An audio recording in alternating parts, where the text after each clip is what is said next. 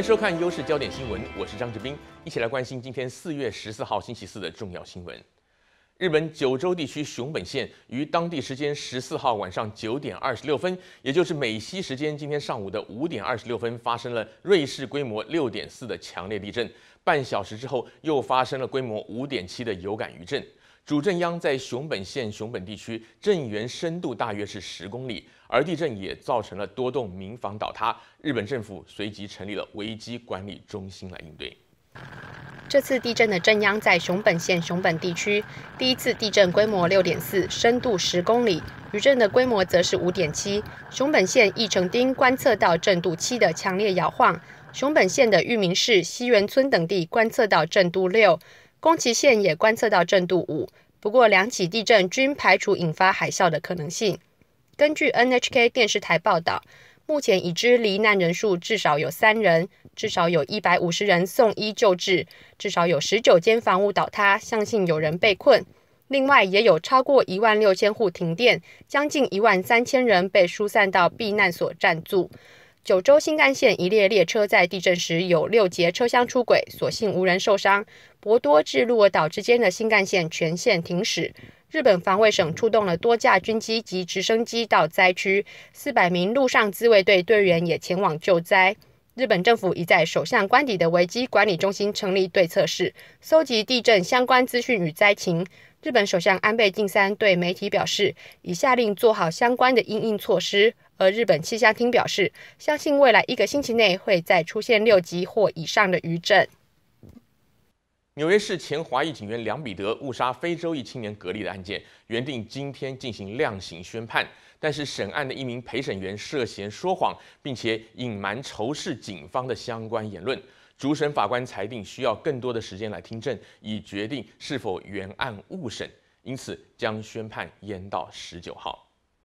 梁彼得案的第九号陪审员瓦加斯在全案审理结束后，才被媒体爆出他在先前筛选陪审团员的时候，涉嫌欺骗法官、隐瞒父亲前科累累，并在脸书上长期发表仇视警察的言论。梁彼得的一名律师因此以陪审员渎职为由，向法官提出动议，要求重审梁彼得案。主审法官 Danny Trin 昨天举行特别听证会，听取双方辩词。而由于听证会今天下午将继续进行，由检辩双方交叉进行盘问，原定今天宣判的量刑判决也随之推迟到十九号。由于此案受到华人与非洲裔社区广泛关注，双方也都曾举行示威抗议，因此随着宣判日期接近，纽约当地华人与非裔社区关系也随之紧张。日前曾有社区人士建议纽约布鲁克林当地华富商家最好在宣判当天暂停营业，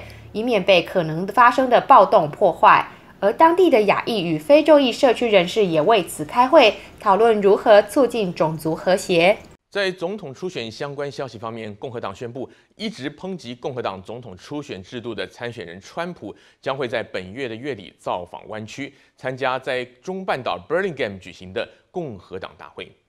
加州共和党声明表示，川普将于四月二十九号出席 Burlingame 的党代表大会，并且发表演说。加州共和党副主席迪伦表示，这是几个世代以来最令人兴奋的共和党总统初选。川普则在加州共和党代为发表的声明中表示，加州一直努力要恢复全面经济的成功。他允诺将提出有利就业的政见。本月初公布的 Field 独立民意调查显示，川普获得百分之三十九共和党选民支持，克鲁兹的支持率为百分之三十二，凯西克则为百分之十八。加州虽然拥有为数庞大的选民，但由于以往选情多半在加州初选之前就已经抵定，因此两党总统参选人通常不太重视加州初选。但这次由于选情紧绷，使得加州初选结果很可能成为决胜关键。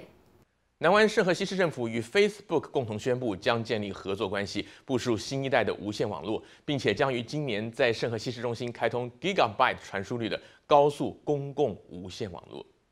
由 Facebook 实验室所开发的 Telegraph 计划将使用分布式节点来连接高速光纤，并在市中心使用 60G Hz，也就是 V 波段的无线信号，将数据送往下一个节点。预计在今年下半年会在圣荷西市中心部署 Telegraph，向公众开放地面 WiFi 无线网络。届时将由 Facebook 负责 Telegraph 系统的硬体与软体，圣荷西市府则提供建造网络所需的路灯杆和相关设施。市府指出，Facebook 选择圣荷西合作，因为盛市中心已有现成免费 WiFi 设施，且有意愿成为展示新一代网络技术的城市。而 Facebook 也承诺将不会透过提供服务的机会，搜集并记录使用者的个人资料。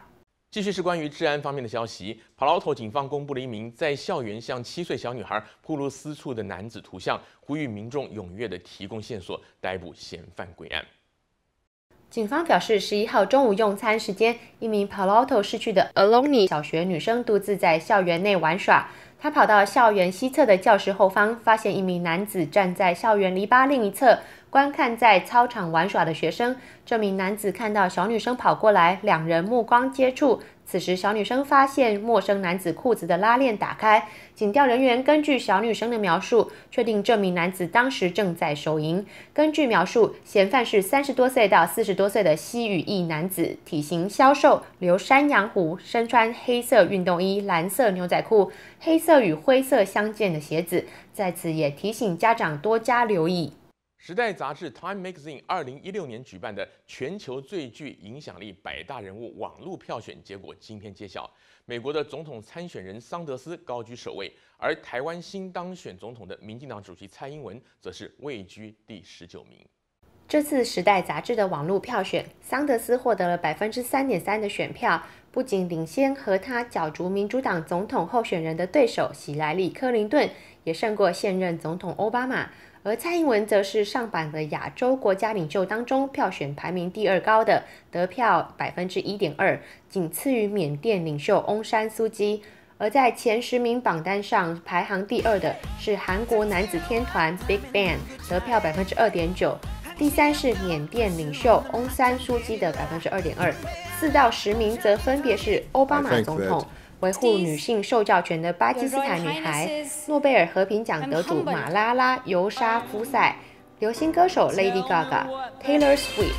美国第一夫人 Michelle Obama，教宗方济各和影星里奥纳多·迪卡皮欧。而由《时代》杂志编辑部选出的二零一六《时代》杂志全球最具影响力百大人物，将于二十一号公布。昨晚，美国职篮 NBA 进行了两场有历史意义的比赛。东湾奥克兰的金州勇士队在主场击败了曼菲斯灰熊队，创下了 NBA 季赛七十三胜的历史纪录。而洛杉矶湖人队则为传奇球星 Kobe Bryant 举办了退休欢送仪式，而 Kobe 也在最后一场比赛当中独得了六十分，为二十年的职篮生涯画下了完美的句点。